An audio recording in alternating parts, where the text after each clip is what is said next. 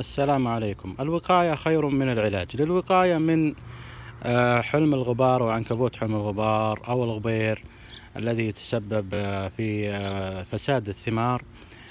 يجب ألا نوفر لها بيئة خصبة من خلال ترك أشجارنا متسخة بالغبار والأتربة وإنما نقوم كل ما شاهدنا.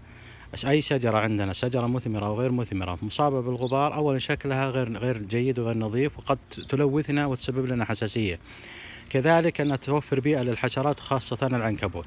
فتغسل بماء ليس مضخة قوية وإنما ماء ناعم حتى لا تتكسر ولا تتطاير الأوراق والثمار. بغسل ماء عادي ولكن يكون وقت الغسيل وقت بارد. يعني أول الصباح الصباح الساعة إلى الساعة عشرة الساعة تسعة. بالصيف والله عندنا حنا حر يعني الساعة ثمانية تكون حر. فيفضل يكون بعد الفجر أو قبل المغرب أو في الليل في أي وقت في الليل. لماذا؟ لأن قطرات المياه سريعة الامتصاص لحرارة الشمس.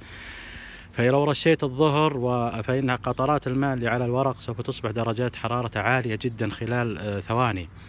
ثم مما يسبب حرق للأوراق وتشوه لشكل الشجرة وقد تتضرر بعض الثمار باختراق القشرة التي عليها بسبب حرارة قطرة الماء. كأنك يعني رشيتها ماء ساخن. بدل ما تبرد عليها كانت قاعد تسخن الشجرة عندما ترشها في آه، وقت الظهيرة. الوقاية خير من العلاج بهذه الطريقة. أهل التين يعرفون هذا. أهل التين دائما يستهدفهم العنكبوت. فهم يرشون أشجارهم يوميا لمن لا يريد أن يستخدم المبيدات. يعني يقول أنا بزرع زراعة عضوية حاطين رشاشات فوق الأشجار بالمزارع المحميات الكبيرة ويوميا غسيل لشجرة التين يوميا غسيل بالرشاش لشجرة التين.